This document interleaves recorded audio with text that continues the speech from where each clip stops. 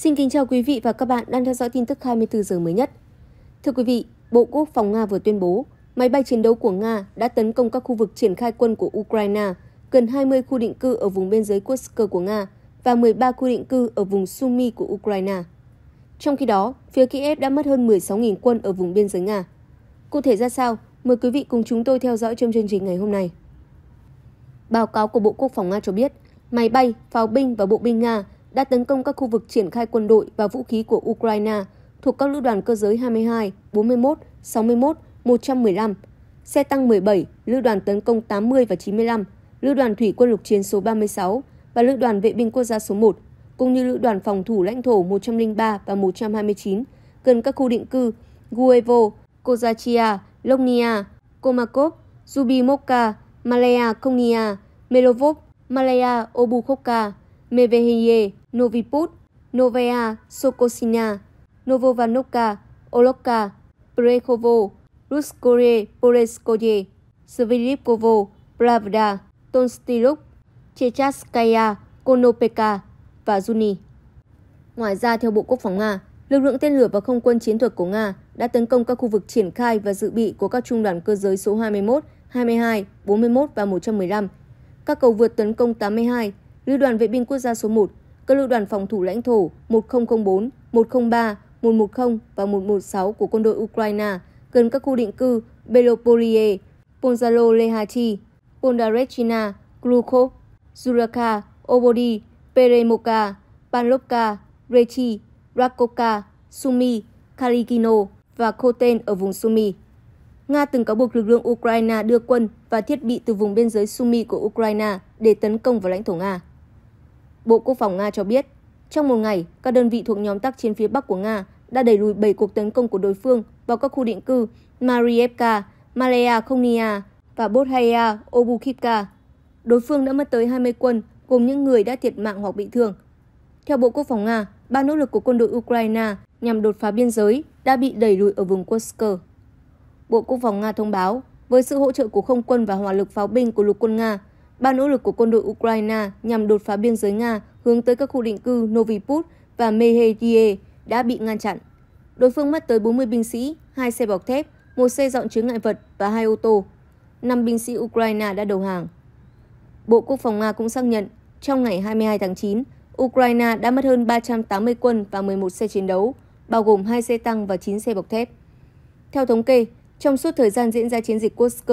lực lượng Ukraine đã mất hơn 16.000 quân, 126 xe tăng, 57 xe chiến đấu bọc thép, 95 xe chở quân bọc thép, 795 xe bọc thép, 492 ô tô, 124 hệ thống pháo, 29 hệ thống pháo phóng loạt, 8 hệ thống phòng không, 5 xe vận tải và xe tải, 31 hệ thống tác chiến điện tử, 7 hệ thống radar phản pháo, 2 hệ thống radar phòng không, 17 xe công binh, bao gồm 10 xe dọn chứa ngại vật và một xe rà phá bom mìn UR-77 cùng một xe cứu hộ bọc thép. Trước đó, người phát ngôn Điện Kremlin Dmitry Peskov ngày 20 tháng 9 tuyên bố quân đội Nga sẽ hoàn thành nhiệm vụ để giành lại quyền kiểm soát tất cả khu vực ở tỉnh Kursk. Tổng thống Nga Vladimir Putin được cho là đã ra lệnh cho quân đội đẩy lùi lực lượng Ukraine khỏi Kursk trước ngày 1 tháng 10. Chủ nhân Điện Kremlin cũng tuyên bố chiến dịch Kursk của Ukraine chắc chắn sẽ thất bại và Kiev cuối cùng sẽ phải chấp nhận ngồi vào bàn đàm phán. Theo giới phân tích, Ukraine có thể chỉ duy trì kiểm soát một phần lãnh thổ Kursk thêm vài tháng nữa, trước khi bị đẩy lùi hoặc phải rút lui khỏi mặt trận này để tập trung cho phòng tuyến Donbass ở miền đông và giảm tổn thất nhân lực. Bộ Quốc phòng Nga vừa tuyên bố đã bẻ gãy các mũi phản công của Ukraine ở Kursk và khiến Kiev chịu thiệt hại lớn.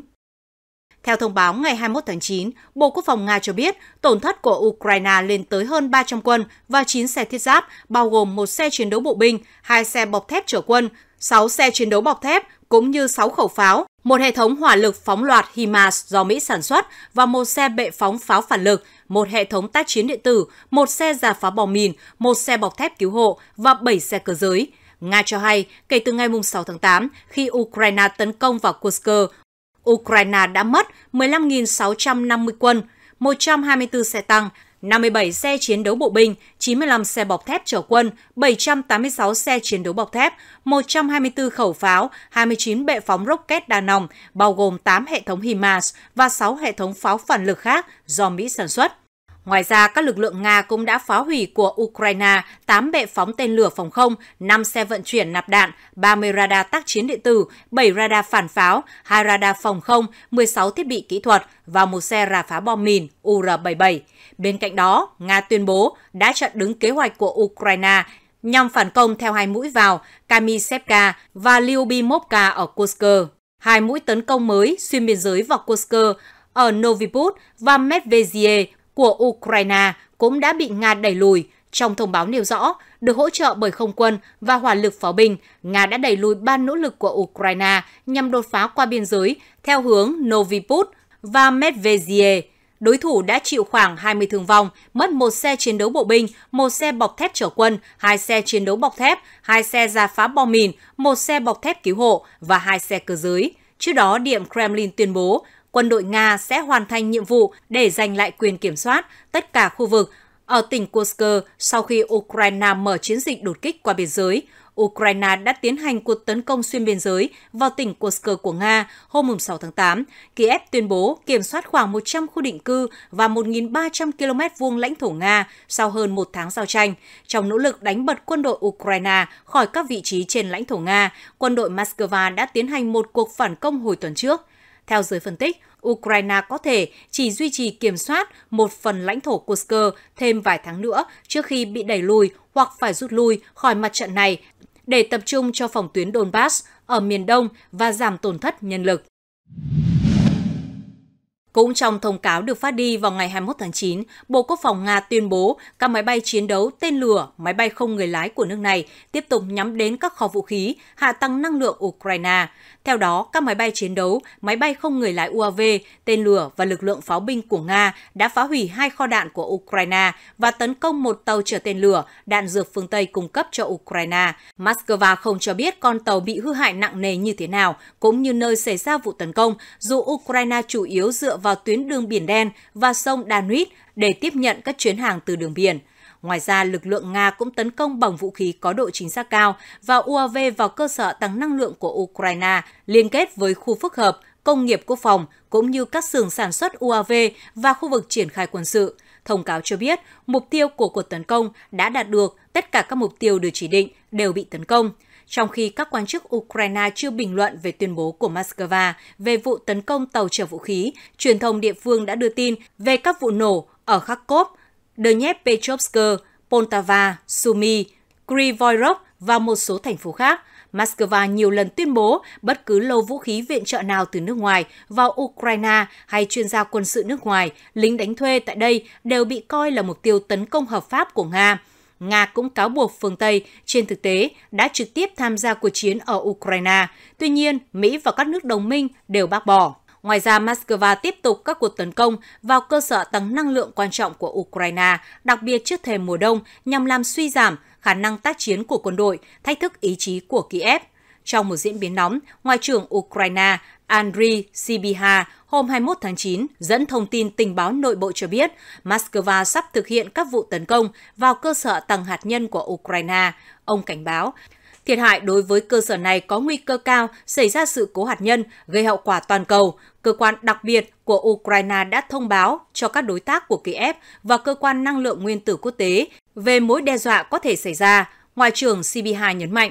Công thức hòa bình của Ukraine có một điều khoản về đảm bảo an toàn bức xạ hạt nhân. Chúng tôi kêu gọi tất cả các tổ chức quốc tế và các quốc gia tôn trọng hiến trương Liên Hợp Quốc ngăn chặn kịch bản này xảy ra. Nhà máy điện hạt nhân Zaporizhia, nhà máy điện hạt nhân lớn nhất châu Âu, đã bị Nga kiểm soát từ tháng 3 năm 2022. Nhà máy nằm gần tiền tuyến, khiến rủi ro hạt nhân ngày càng cao.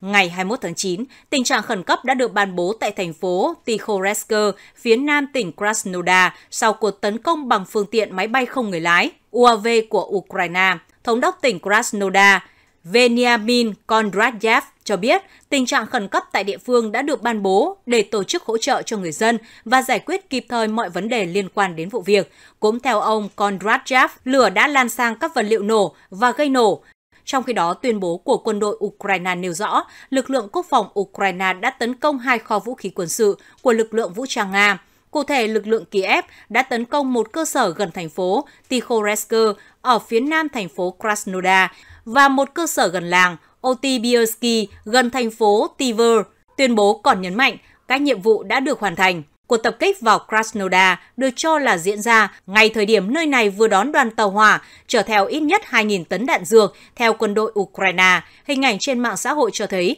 đám cháy lớn tại nơi được cho là một căn cứ quân sự trong khu vực nằm ngay phía đông bán đảo Crimea. Hệ thống giám sát FIRMS của NASA chuyên theo dõi các đám cháy trên toàn thế giới bằng dữ liệu vệ tinh, cũng ghi nhận tín hiệu nhiệt mới phát sinh từ ngôi làng Tikhoresker. Theo hình ảnh vệ tinh, địa điểm ghi nhận tín hiệu nhiệt có vị trí tương ứng khu nhà kho, có xảo quay, bên trong có các nhà máy chứa máy bay, một căn cứ không quân. Ukraine dường như đang tăng cường tập kích các kho vũ khí của Nga. Gần nhất, ngày 18 tháng 9, phía Kiev tuyên bố phá hủy một kho vũ khí lớn của Nga bằng UAV tầm xa, cũng ở tỉnh Tiver, cách biên giới phía bắc Ukraine khoảng 500 km. Các quan chức Ukraine ẩn danh khẳng định trong cuộc tấn công ấy, khoảng 100 máy bay không người lái tự sát của Ukraine đã phá hủy điểm tập kết lượng lớn tên lửa Iskander và Tokau ở Toropets thuộc tỉnh Tiver của miền Tây nước Nga. Người phát ngôn Bộ Ngoại giao Nga Maria Zakharova ngày 21 tháng 9 tuyên bố Nga sẽ không tham dự hội nghị thượng đỉnh hòa bình Ukraine lần thứ hai có thể diễn ra vào tháng 11 tới. Bà Zakharova nhấn mạnh hội nghị thượng đỉnh đó sẽ có cùng mục đích thúc đẩy công thức Zelensky và điều này là không khả thi để giải quyết xung đột.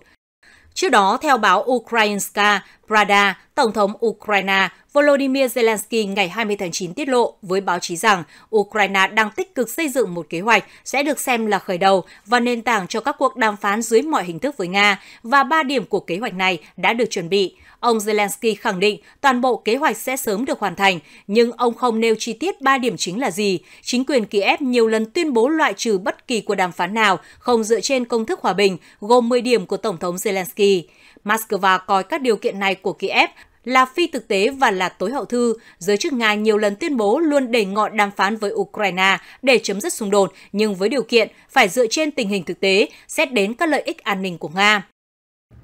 Thưa quý vị, thông tin vừa rồi cũng đã kết thúc chương trình của chúng tôi. Những thông tin mới nhất liên quan đến vụ việc sẽ được chúng tôi liên tục cập nhật và gửi đến quý vị.